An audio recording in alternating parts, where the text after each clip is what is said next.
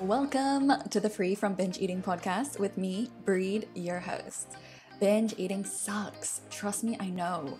I was stuck in that spiral of binge, restrict, diet, yo yoing weight loss, feeling guilty and ashamed, and hating my body for 10 years. Now that I'm out, I'm turning my pain into purpose by helping you stop binging, start loving your body, self, and life again. It's time to live free from binge eating. Are you ready? Let's go. Hey everyone, welcome back to another episode. I can't wait to get stuck into this one because I think it's gonna um, help a lot of you who are at this certain part of your journey. So, heads up, we're going to be talking about weight loss in this episode, as I'm sure you can tell from the title. So, if you're not at that part of your journey where you want to be hearing about that, um, definitely, you know, listen to this another time when you are ready, or just don't listen to it. This episode is more ideal for those who have worked on their food relationship and they might want to lose a bit of weight and they just want some help with that. So, more specifically, what we're going to go into is tips on how you can lose weight, lose fat, while still maintaining a healthy food relationship and actually seeing results that last. And this episode has kind of been inspired by one of my recent one to one clients who's at this part of her journey. So she did the 30 day reboot, she saw amazing results, she hasn't binged in months. But then she was like, okay, I actually gained a ton of weight from binging and I'd like to lose at least some of it. So I'm helping her on that journey. She she's done SFL as well and just wanted that one to one support and accountability throughout the journey. So I'm going to be sharing some of the basically the things that she's been doing that we've been focusing on in her journey that have really been helping her see results. So let's backtrack a second, rewind. I'm sure you know you've lost weight before, right? Many of us have lost weight, whether it's a few pounds or a lot of weight. Anyone can lose weight, right? You can lose weight by eating less for a week, you're going to lose some weight. But too often in that process, we do two things. We lose our healthy relationship with ourselves, we kind of lose ourselves in the process, and we regain the weight as well. So, you know, I'm sure you know half the battle is losing the weight, the other half is making sure it's done in a way that is long lasting and just doesn't mess up your food relationship. I know so many of us, if, if you've done the 30 day reboot or you're thinking about it, you're on it, you know, I think that's a journey so many of us take. We start out with this, you know, innocent desire to just lose a bit of weight. Sorry, there's a dog barking in the background outside on the street, so I'm sorry if you can hear that.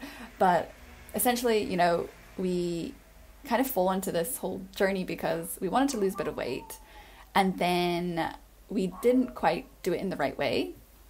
Probably went a little bit too extreme. We got caught up in it all. We wanted the fast results. We wanted to feel better about ourselves faster. So we ended up kind of messing up our food relationship. Probably didn't end up keeping the weight off. And now you might be doing something like the 30 day reboot to get back to a stable, healthy, happy place with food and your body. And also, just for a second, what exactly do I mean when I say, you know, messing up your food relationship along the weight loss journey? What does that really mean? Well, as I said, when we try to lose weight, oftentimes we just really want that quick fix. We just want to get it over and done with. We want to feel better, we want to feel more confident, and we often hyperfixate on that end goal of just feeling amazing in our new body. Can't wait to just get there already so I can finally live my life and start dating and be the person I really am. All those things that we probably thought I've definitely been there too. And we just place so much of our worth in our weight.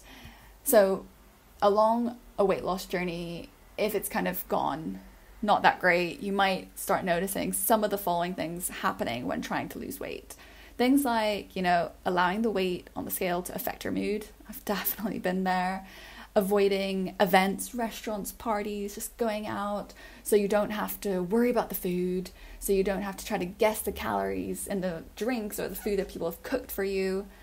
Um, maybe you are waiting to start dating until you lose the weight. Maybe you're cutting out entire food groups or just types of foods that you really love, but you're just trying to get rid of them all now while you lose the weight quickly or even just cutting calories more and more to get to your goal faster.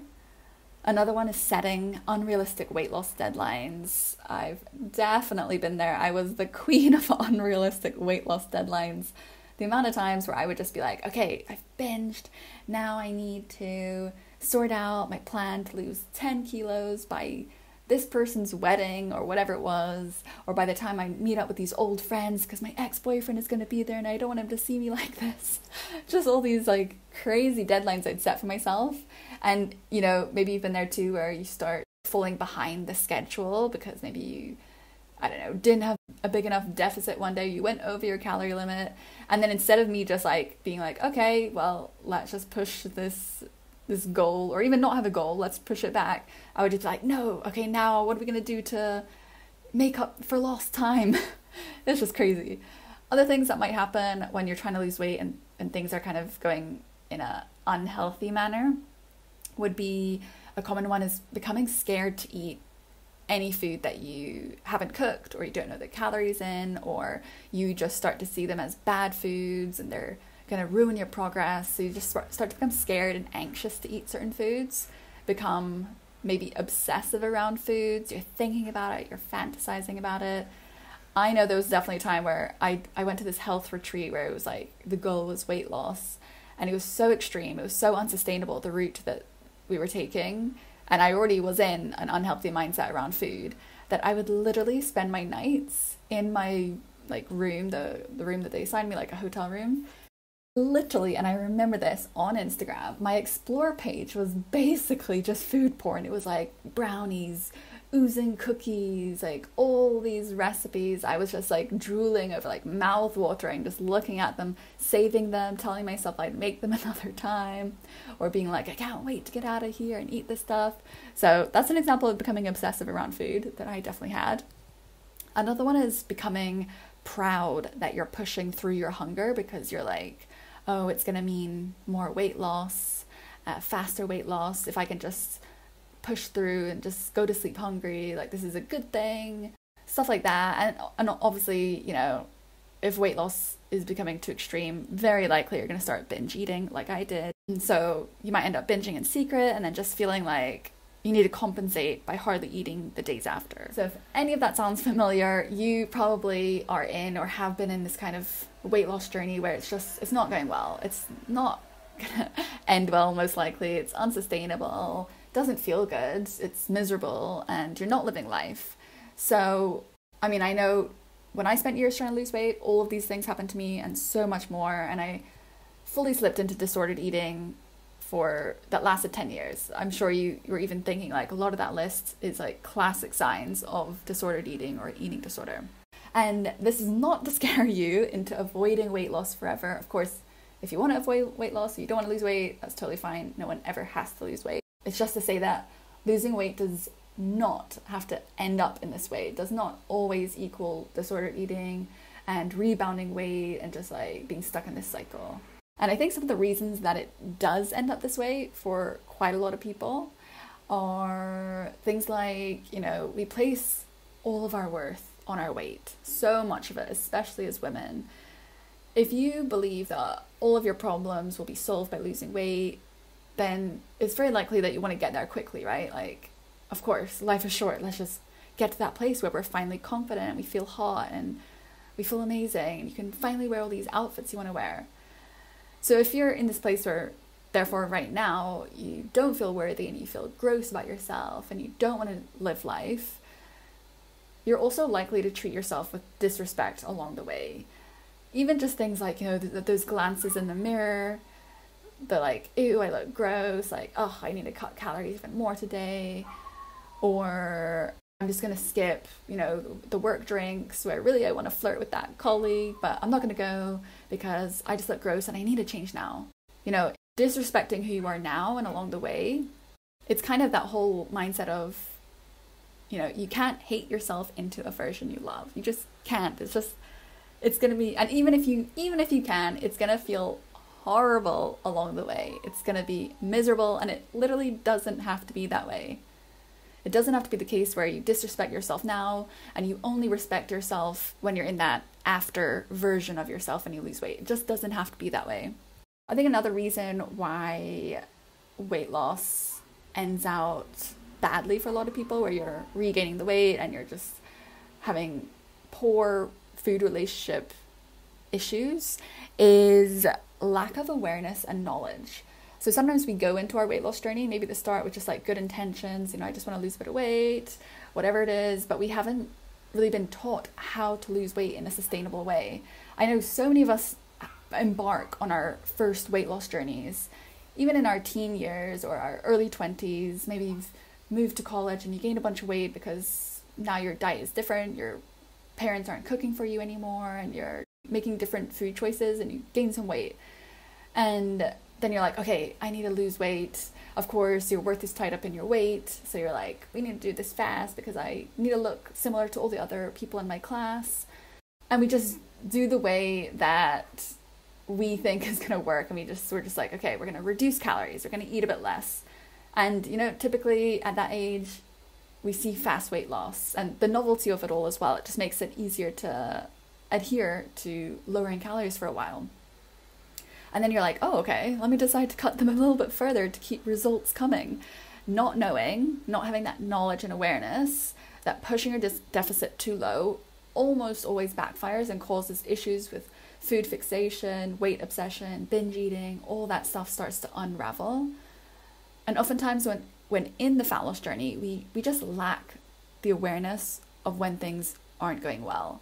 We're so in it, we're so focused on like getting to our goal that we just sort of start to not notice or not not prioritize when these things start happening like small changes in your food relationship like starting to avoid restaurants saying no here and there to going out with your friends coming up with excuses oh i just need to focus on my studies or i've got a busy work assignment or i'm just feeling a bit off telling yourself that you're an introvert that's why you're not going out you're too shy whatever it is. Like these things over time build up and we might not notice in the moment because we're so focused on that goal of weight loss. And so having that awareness, that knowledge of the signs to look out for, what might start happening, like that list that I went through earlier, basically, like all the things that might start happening in a weight loss journey that ends up becoming something quite serious over time, it turns into disordered eating or eating disorders if you have that awareness, you'd be able to press pause on your journey and be like, wait, hold up. I'm starting to notice that I'm making up excuses to go out, or I'm starting to notice that I'm like freaking out about calories and different foods that before I felt so chill about. Like, I never even thought about that before. And I don't like that feeling. You can press pause and just be like, okay, weight loss can hold on a second. We're going to sort it this out. We're going to get back to a place where we feel relaxed with food, where we're not stressing, we're not obsessing, and then we can press play again when we're ready because there is no rush with this. That is a mindset that I instill over and over in SFL, my online course that helps you with sustainable fat loss. Um, it's just let's approach this with a different mindset of we're not rushing. There's no strict deadlines. We're going to take this slow because that's the way that's going to work for us. I think another reason why fat loss doesn't work for a lot of people, definitely didn't for me for a long time, is not setting and sticking to our non negotiables. This is something that we go through in SFL as well. So it's common during weight loss journeys to just totally sacrifice things that you love, like going out for drinks or eating chocolate all for the sake of weight loss, even more subtle things like um, maintaining and accepting a kind mindset towards yourself or not becoming obsessed, not being obsessed about the number on the scale. Maybe another thing is the type of exercise you do. I know sometimes when, when people embark on a weight loss journey, they're suddenly like, okay, now we're going to do cardio this many times a week and this thing when before they didn't really do that or they didn't they don't like that thing.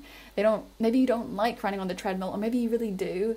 Whatever it is like you can you can design a weight loss plan that actually works for you and doesn't mean sacrificing things doesn't mean forcing yourself to do things because there are so many ways that you can tweak and change your your lifestyle your diet your movement your sleep your stress levels your mindset so that you can, you can get fat loss and it never has to mean doing these like 180s completely overhauling your lifestyle overnight for the sake of weight loss it's just almost always unsustainable long term.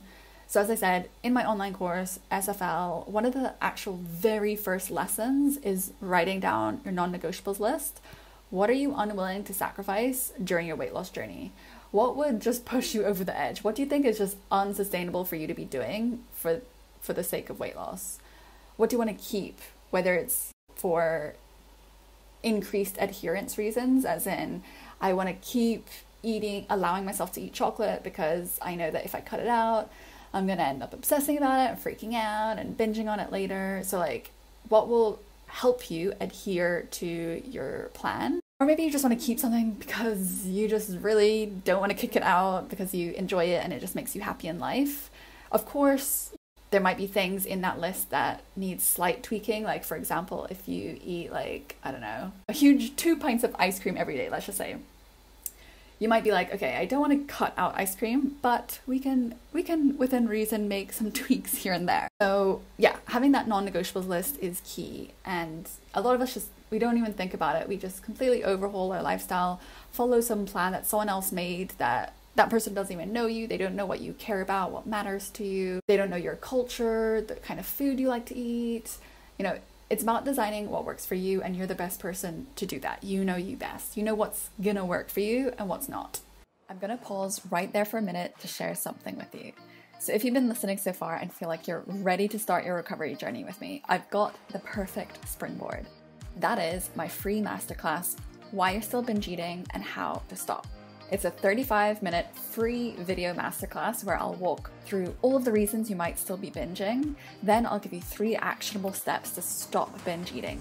So, if you're looking for actual results in your life, want to never binge again, trust me, I know the feeling. I was stuck for 10 years doing that.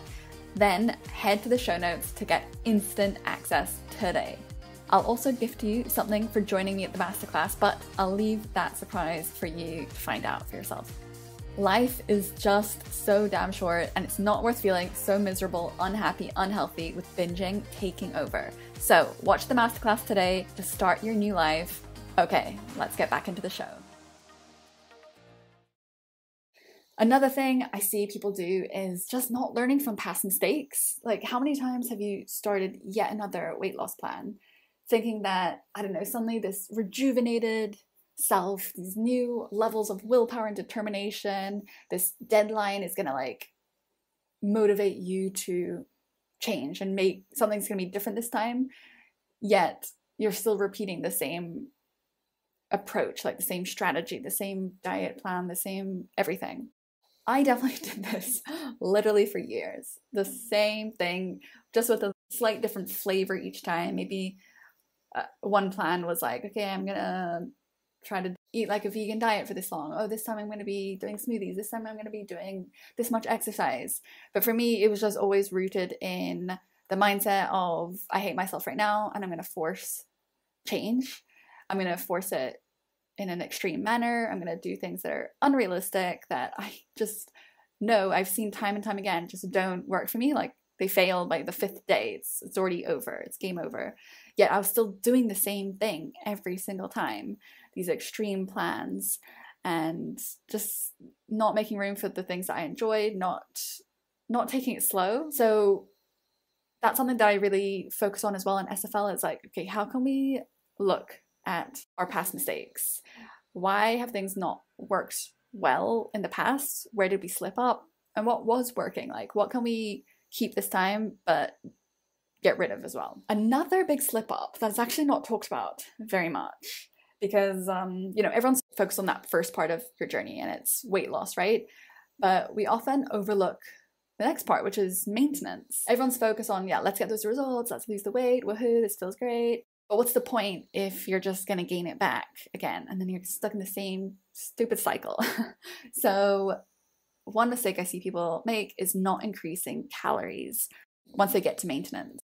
As I said, it's one thing to lose weight, but it's another to maintain that new weight it's the people the part that people forget to focus on and um, sometimes we just get so used to i know this happened to me for sure we get so used to being in that weight loss mindset especially when you're doing it in an extreme manner which we're not doing in SFL so sometimes you're just like cutting calories so much exercising so much that if you finally get to that, you know, your goal or somewhere near your goal and you're ready to be in maintenance, it's so ingrained in you now to be like worrying about calories, thinking about food, cutting this out, cutting calories, that some people almost get scared to then increase their calories to a maintenance level. It suddenly seems like, oh my God, that's so much food. That's so much food, and I'm so scared to regain the weight and lose all of this progress. but increasing your calories is an absolute must if you want this to work long term, if you don't have to do this again. Otherwise, what are you doing? You're just staying in a, some sort of a deficit state for a prolonged period of time, which is obviously not ideal and unnecessary. It's just going to mean you're you're still going to be losing weight, or you're going to start pushing your body too far and flip the other way and start binging because you just can't psychologically, physiologically be in a deficit for so long and it not start to backfire at some point. It's just too long. So that can happen. And so the, the takeaway there is you've got to increase your calories to maintenance level. And that's unlikely to be the same amount of calories that you were on before you lost weight because if you've lost weight, you're now in a smaller body, and that smaller body requires less energy to, to live on, to exist. When you're in a bigger body, you your maintenance calories are higher than when you're when you're in a smaller body. So your maintenance level will be lower than it was when you first started your weight loss journey. That's all something we talk about in SFL and we find out what those numbers are for you.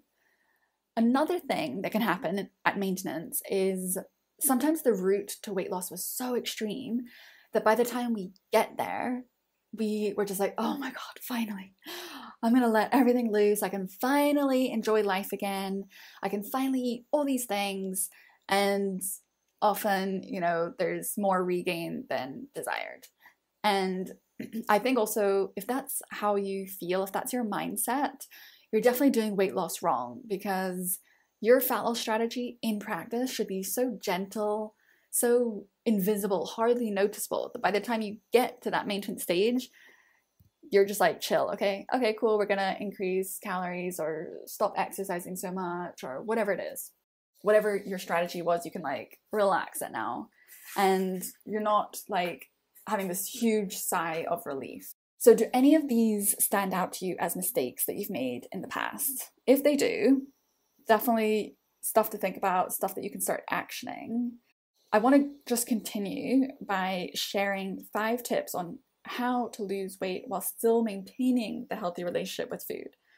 And as I said, these are all based off of a recent one to one client who has successfully done the 30 day reboot and SFL. Now she, we're sort of working together throughout her journey over the months to just, I think, keep her accountable, but also to have that second set of eyes going back basically to that awareness piece of just noticing when things might be like slipping or you're taking things too far, it's always helpful to have that person there who gets it, who's like, hold on, let's not do that. Like, let's say yes to going to restaurants because that was one of your non negotiables. So let's keep doing it and living life. There's no rush to this. You know, just having that person there can really help. So, one thing that we've been doing together is ensuring that her strategy is doable. It's so doable that it's hardly noticeable. It's just like, okay, we're just making these tweaks here and there. It's easy. I always say that no one should be able to tell that you're trying to lose weight. It shouldn't be like suddenly you're changing everything you eat and bring to lunch at work, and all your colleagues are like, oh, are you on a diet? Like, why are you suddenly eating so different? And yes, we could do things, you know, faster.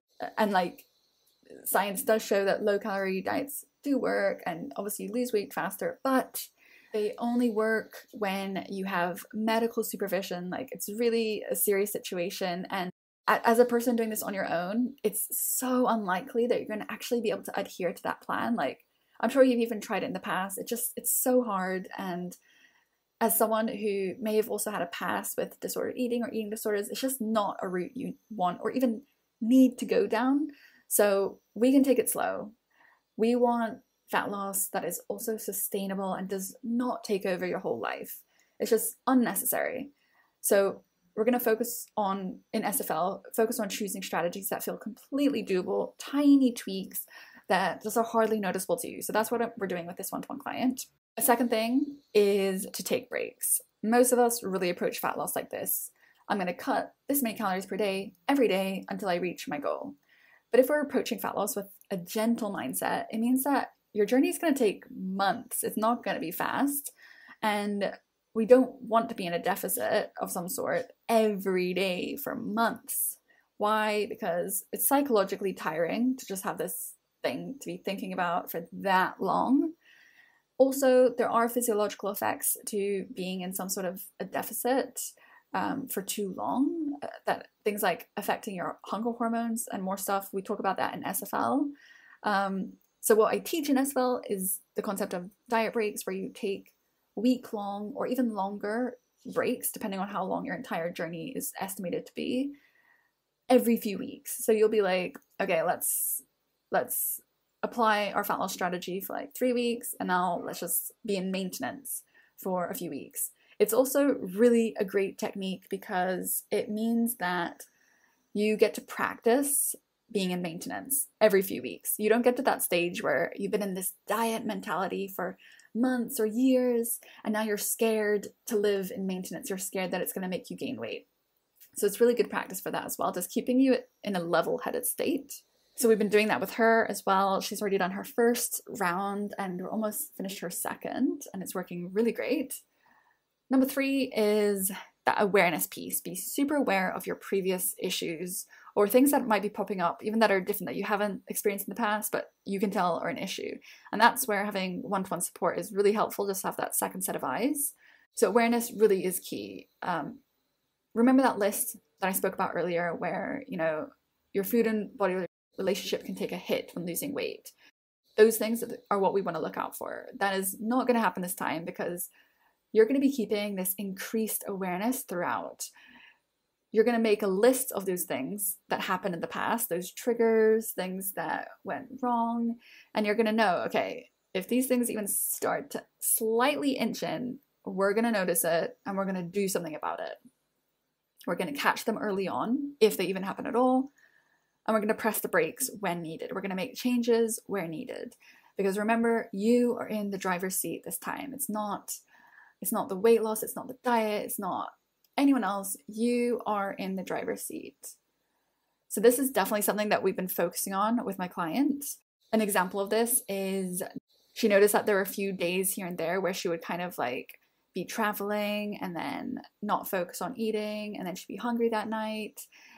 And instead of letting that just go on and on and then obviously spiral and become something, become an issue, she brought it up the first time and we are like, okay, what are we doing right now? This is unnecessary. We don't need to be fast tracking weight loss.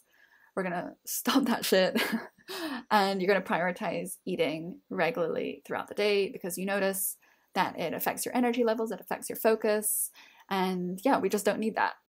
Another thing that we're really focusing on is not sacrificing those non negotiables. So remember, in SFL, we write out the non negotiables list at the start of the journey. And all throughout, your job is to stick to that list, to not sacrifice what matters most to you just for the sake of weight loss. Weight loss is not the be all and end all, it's not the center of your life. It is something on the side that you're doing, that you're making small tweaks to bring about that change, but it's not it's not everything. Life continues while you lose weight. You do not press pause. You respect yourself by still allowing the things that you need, the things you enjoy, as I said earlier, even if that means potentially dialing down on certain things or making smarter choices here and there, you're still not sacrificing those non negotiables. And that's something that my client and I were focusing on in terms of for her, going out to restaurants. So she was noticing, again, this comes back to the awareness piece, she was noticing a part of her was like, mm, I might just say no to this one restaurant invitation because um, otherwise I, I can't really estimate the calories and I'd rather just make this thing at home that I know is making me lose weight and I know the calories in it. And I was like, hold up, what are you doing? Your non negotiables, you know, say that you still want to be living life, you still want to be going out to restaurants, you don't want to be getting into a mindset of fear, obsession, fixation, anxiety, stress around food. So we're going to stick to that non negotiables list and you're going to be going out to restaurants. And she does. Okay, last one focus on other factors than just weight. I know, you know, it's too easy to get weight obsessed when losing weight, that it becomes the center of your life. To feel that high when you feel yourself losing weight, you can feel your body getting slimmer, yet that panic another day when the scale suddenly goes up, even though you tried so hard that day. We do not want to be on that roller coaster ride because it's not fun. So, yes, I mean, it is nice, of course, to notice your results from your efforts. It's okay to celebrate weight loss if that's your goal. That's all fine. You don't have to like hide it or pretend that you don't care that you're losing weight, even though you're trying to lose weight. But we really want to be focusing on factors other than just your weight, just to ensure that you're staying level headed and you're not placing all of your worth in your weight. There are other things, many other things that are so important to you, even other positive changes that might be happening due to the strategies that you're doing to lose weight, like maybe your energy levels or your skin is looking clearer, glowing. Maybe your resting heart rate is lower. Maybe your fitness levels are increasing, or your digestion is getting better and more regular. Maybe even other things like your desire to socialize is increasing, and maybe your confidence is soaring. Just all these things to look out for and to be able to celebrate them as well. So we're not fixating on this one, this one goal, this one metric something actually with my one-to-one client that we focused on is you know noticing that your higher self or your best self whatever you want to call it emerges not just when you lose weight. It's not just like you become your best self the moment you get to that goal. She shines whenever you want her to shine. When you do things like take care of your nutrition your connection your meditation your movement your stress levels like whatever it is that your best self your higher self embodies, I'm sure that it's it's not just oh I can be that self when I'm thin or when I've lost the weight when I've lost five pounds. Not the case. So we want to really keep focusing on having a more holistic approach. Just allowing yourself to embody, to live as your higher self, your best self now, all along the journey, focusing on more elements than just weight because it's actually something that we do at the very start of SFL is we sort of like envision, okay, what does our best self look like, feel like, how does she live, what are her habits, what's her mindset, all these things. And I know that that when you write down that, you know, what you envisioned, it is not one sentence. It's not my higher self weighs this much. It's it's a whole A4 piece of paper. It's three pieces of paper of writing down all these elements facets of yourself that you know are ready to shine and it's it's not waiting it's not there going to be unleashed the moment you lose weight. It's already there it's already accessible. So that's another focus that we're working on with my one-to-one client is like okay what are other things that we can also be working on on the side that are going to help make you feel better to show you that you can feel better about yourself in ways that aren't always just revolving around your weight? Okay so just a quick Summary It is possible to do it without fucking up your food relationship. Potentially again. It is possible to maintain your weight loss long term. And if you'd like more help on this journey, I definitely recommend checking out SFL. It's my science backed fat loss course designed for women who want long term results without destroying their food and body relationship along the way. And without just feeling miserable along the way as well. Like fat loss, this journey, it's, as I said, it's not the center of your life. It's just gonna be this peripheral thing, you get to still have fun, you get to enjoy life all throughout. Of course, it's possible. So that's it for this episode. Hopefully, it was helpful. It opened up your mind a little bit, helped you feel less hopeless about, you know, fat loss always has to be miserable and it's not possible and it always ends up badly. Not the case at all. So that's it from me today. I hope you enjoyed it. I will see you next time. And that's the scoop for today. I hope you enjoyed the episode and learned something new that you can start applying to your life. It really helps my podcast to grow and reach more women who are struggling as well when you rate and review. So if you got a spare minute, I would appreciate it so much if you could rate and review. And if you took something from this episode, it would mean the world to me if you could share it with someone in your life change someone's day, mood, or even their life. Be that person. I know I absolutely love it when my sister sends me podcast episodes. It just shows me she's thinking of me and she wants to help me elevate alongside her. As always, feel free to DM me on Instagram at Free with Brid. I'm always open for feedback and let me know what you want me to speak about on the podcast because, after all, this podcast is for you. Okay, that's it from me. Have a wonderful rest of your day, and I will see you next time.